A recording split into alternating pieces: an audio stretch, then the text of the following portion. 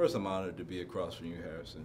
It's great. You've done a lot of great movies that I've watched and enjoyed and watched over and over. I was surprised to learn that this is the first historic character you've played. You know, it's not entirely true, but this is the first time I've tried to represent that character uh, um, physically. Maybe that's what people are talking about. Oh, okay. Um, I don't think it would have served the film to, to carry all the baggage of, the, of people's experience with me in the other kinds of movies that I've done into this film, and I wanted to. I wanted to uh, uh, change my physical appearance and my vocal characterization to more closely match that of, of Branch Rickey. How, how does that feel for you as an actor, though, when you could get lost in the physical and other parts of it? Is, does it It's great. you? It's great. It's great. It's great. It's Yeah. fun. It was fun for me. Yeah. Um, and uh, but uh, you know the the story's the thing, and uh, I was really attracted to this by a story that I thought was powerfully told Yeah. about something really important.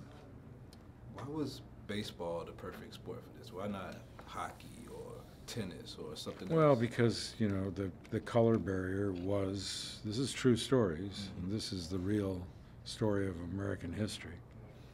And I think it's important to remind ourselves from time to time about the about the injustices that still uh, reside in our country and eliminating them, working on eliminating them. Right. So this is a great moment of uh, uh, overcoming um, uh, injustice, and there's work to be done.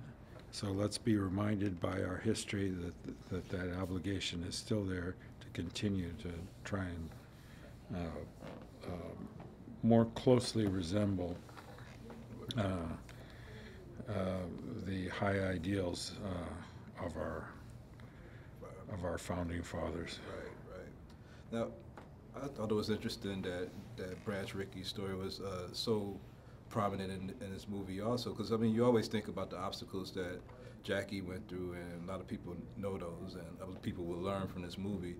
But no, nobody, I don't think, a lot of people don't take into account the obstacles that Branch Rickey himself had to do to go to go through this.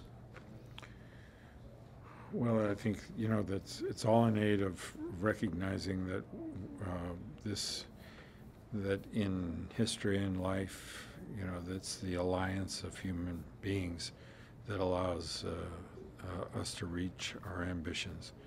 And uh, these two guys had an emotional understanding that uh, uh, that helped them both reach their ambition.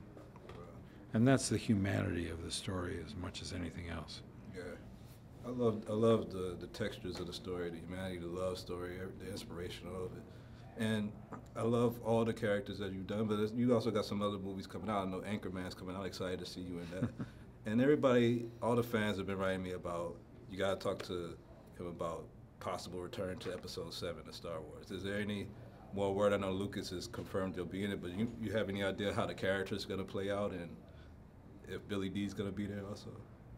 Mm, Oh. um, yeah. Okay. We'll say that for the next interview. but thanks, man. Great movie. It's one of the, not, like gonna say it's the best character I've seen you play, but I definitely loved, you know, you diving into that character physically and, and delivering it. So thank you Thank for you. a great performance. Thank you. Appreciate it.